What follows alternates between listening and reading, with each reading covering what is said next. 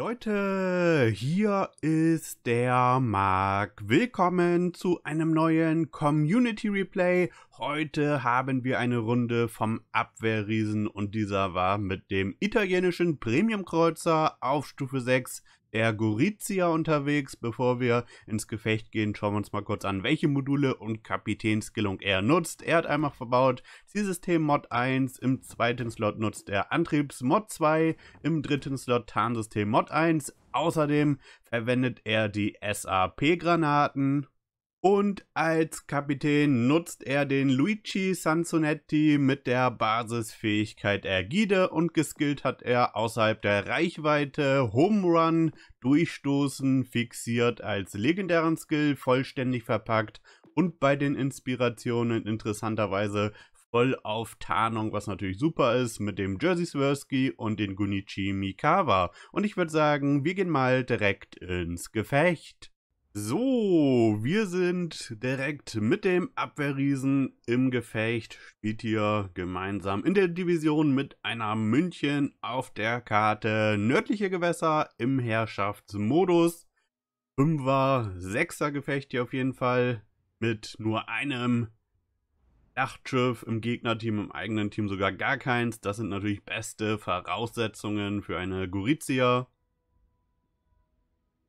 Gerade auch die AP kann auf jeden Fall sehr gut Itadellen verteilen. Und los geht es. Und ihr seht es oben neben der Minimap mit der Skillung hat er einen Tarnwert von 8,6 Kilometern erreicht. Das ist natürlich super, um dort eventuell sogar zu flankieren, einfach aus dem Nichts zu kommen, um die feindlichen Kreuzer zu bestrafen, aber auch natürlich die SAP Munition, die halb panzerbrechende Munition ist natürlich äußerst stark, gerade gegen Zerstörer. Fährt hier auch mit seinen Divisionskollegen Richtung C als erstes. Die SAP ist geladen.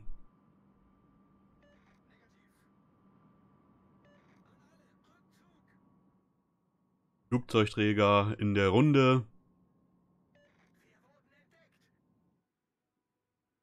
Aktuell natürlich noch nicht äußerst viel aufgeklärt. Aber die feindliche California wurde vom Flugzeugträger aufgeklärt.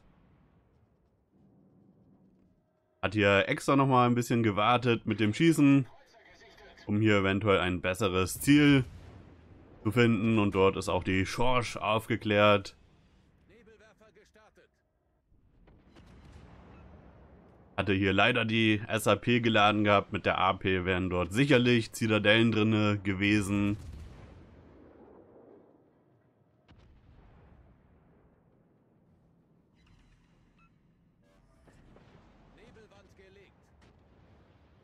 Bosch fährt hier natürlich angenehmerweise Breitseite. Kleiner Tipp hier auf jeden Fall gegen Breitseiten.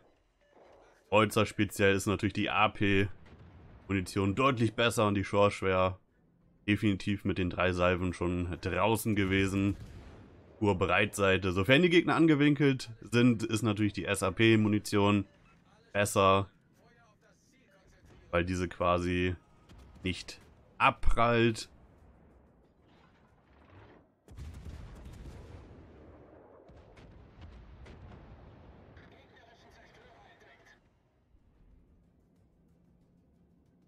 Leider Gottes schon zwei Schiffe im eigenen Team draußen. Das ist natürlich überhaupt nicht gut.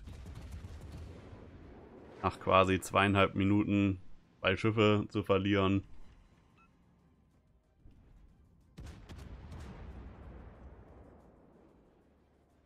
Ich habe selber auch noch gar kein Video zur SAP-Munition gemacht. Ich habe ehrlich gesagt seitdem auch äh, nicht die italienischen Kreuzer überhaupt gespielt.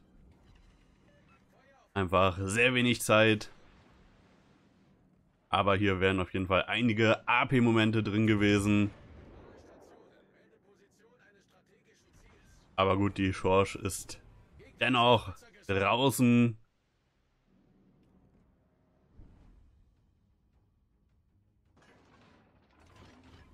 So, die feindliche California pusht in die Mitte, sehr, sehr aggressiv. Schöner Treffer hier mit der SAP. Schön in die Aufbauten. Das hat richtig gut Schaden gemacht bei California. Und dort wurde die Z39 gefunden. SAP ist geladen. Das wird wahrscheinlich sehr wehtun. Gucken wir mal, was bei rumkommt. Und ja, 8000 Schaden hier, wobei nur 5 Granaten getroffen haben. Hätten dort alle 8 Granaten getroffen, wäre dort definitiv ein vernichtender Schlag drin gewesen. Das ist natürlich die Stärke der SAP. Einfach gegen Zerstörer macht man halt einfach unfassbar viel Schaden. Auch hier 4000. Aber kein gutes Gefecht hier, was äh, das blaue Team angeht. Fünf Schiffe sind nach vier Minuten schon draußen. Das ist natürlich äußerst kritisch. Leider auch sein Divisionskollege habe ich gar nicht mitbekommen, wie das passiert ist.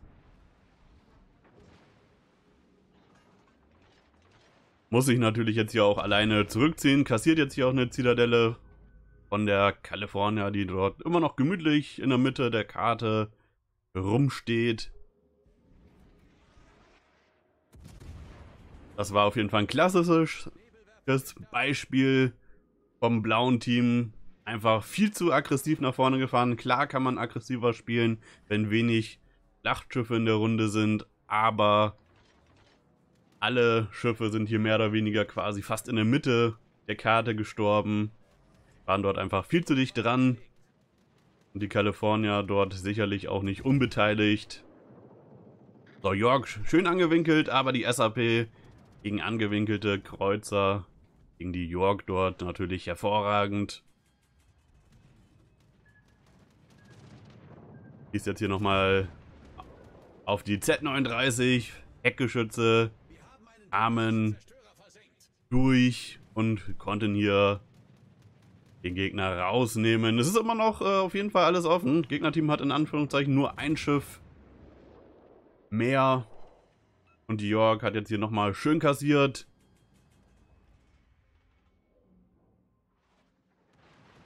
Aoba dort auf vor Reichweite unterwegs.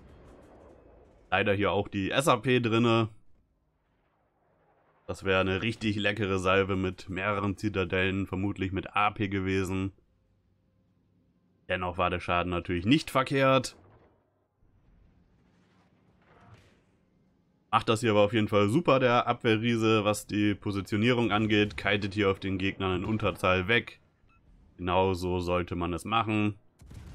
Jetzt wird die SAP hier auch gegen die York dänzen. Mit der AP würde man natürlich hier in dem Fall nur Abpraller bekommen oder anwinkelt. Die SAP macht dennoch sehr viel Schaden.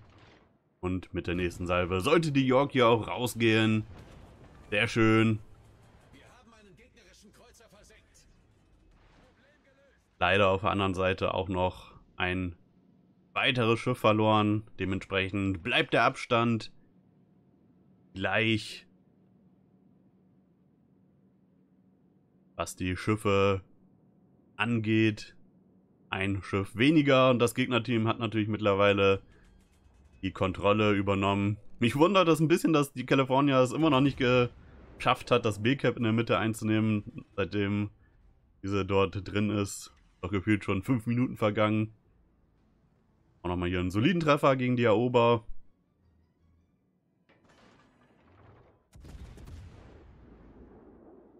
SAP hat natürlich den Nachteil, dass keine Zitadellen gemacht werden können. Dementsprechend überlebt die Aoba auch relativ lange hier gerade.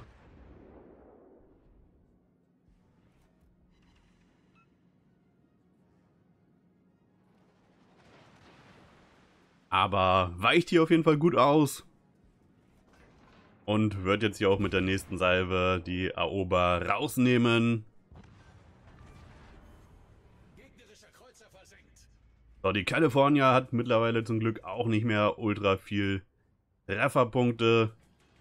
Wird aufgeklärt vom Flugzeugträger, nutzt hier auch im perfekten Moment den Nebel. Ist leider kurz hinter der Insel verschwunden. Flugzeugträger sollte dort aber gleich wieder aufklären. Da kommen Torpedos vom Und der Erober noch.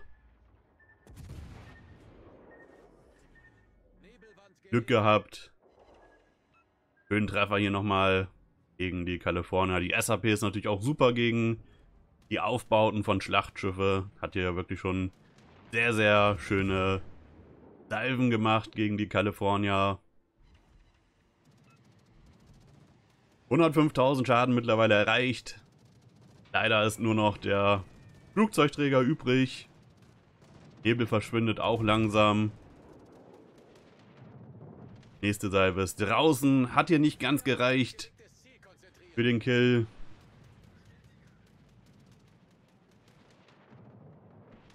Flugzeugträger braucht leider noch einiges an Zeit, um dort wieder anzukommen und selber wird der Abwehrriese hier natürlich vom feindlichen Flugzeugträger angegriffen. Geht hier auf jeden Fall voll Risiko rauf. California hat zum Glück nur geschafft, ein Geschütz abzufeuern und belohnt sich jetzt hier mit der Krake. Leider muss der anwinkeln zum Schlachtschiff und dementsprechend ist er jetzt hier in den Torpedos reingedreht, was natürlich ein bisschen unglücklich ist. Da wäre auf jeden Fall vielleicht der bessere Spielzug gewesen, einfach zu warten, bis der Flugzeugträger kommt. Der Hoffnung, dass der Flugzeugträger auch für die California geht. Aber das weiß man halt vorher nie, was dann passiert wäre. Leider hat das Gegnerteam alle drei Cap-Punkte und der feindliche Kreuzer ist leider noch relativ voll vom Leben her, aber dort ist der feindliche Flugzeugträger. Hier kann auch die SAP Zitadellen machen, weil diese einfach so leicht gepanzert sind.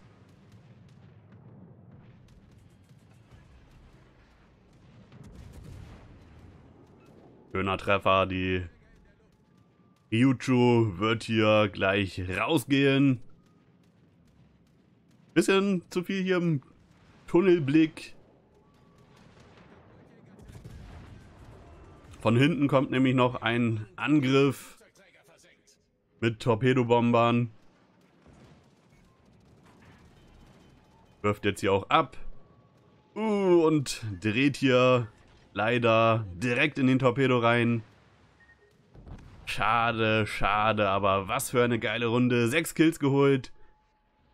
Sind noch vier Minuten auf der Uhr, aber leider bin ich mir relativ sicher, dass der Flugzeugträger es nicht schaffen wird, selbst wenn er hier richtig gute Abwürfe schafft, die Boise in der Zeit rauszunehmen.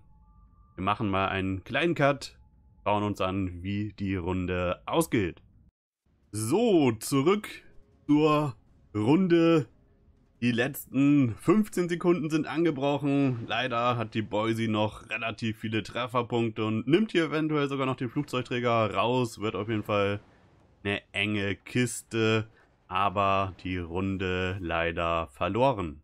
148.000 Schaden wurden es am Ende. Das ist natürlich ein richtig geiles Ergebnis. Gerade am Ende der volle Flugzeugträger war natürlich sehr, sehr lecker. Dort wirklich in wenigen Salven 40, 50.000 Schaden nochmal mitgenommen. 153 Treffer mit der Hauptbatterie, zwei Schiffe aufgeklärt, dann sogar 13 Flugzeuge abgeschossen, sechs Schiffe zerstört, vier Zitadellen, einmal das Cap verteidigt und 13 Sekundärtreffer. Und dann gab es noch Unterstützer, Großkaliber und Krake gucken uns auch nochmal das Teamergebnis an. Hier auf jeden Fall super Runde, was die Basis-EP angeht. 2400 Basis-EP in einer Niederlage. Das wären beim Sieg circa 3700 gewesen, aber auch im Gegnerteam die Boise wirklich stark gespielt schauen uns auch nochmal schnell den Wirtschaftszweig an und das hat sich hier richtig gelohnt. Mit dem seltenen Booster nur sogar 956.000 Kreditpunkte Profit gemacht. Das wären über eine Million gewesen mit dem epischen Booster. Und das soll es dann auch soweit mit dem Community Replay vom Abwehrriesen gewesen sein. Auf jeden Fall sehr, sehr starke Runde, gerade was das Ergebnis angeht. Und auch das Positioning in der Runde. Leider das eine oder andere Mal die AP nicht genutzt, was sicherlich noch ein bisschen effektiver gewesen wäre.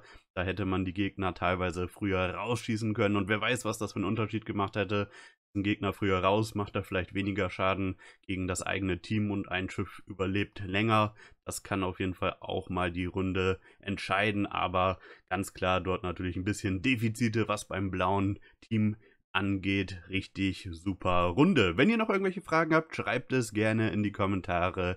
Ich hoffe, es hat euch gefallen. Lasst auf jeden Fall ein Like da, ein Abo wäre spitze. Schaut in die Videobeschreibung. Dort findet ihr meinen Twitter-Account, meinen Twitch-Kanal, meinen Discord-Server. Schaut dort gerne vorbei. Ich würde mich freuen. Und wir sehen uns dann beim nächsten Mal, Leute. Haut rein. Ciao, ciao.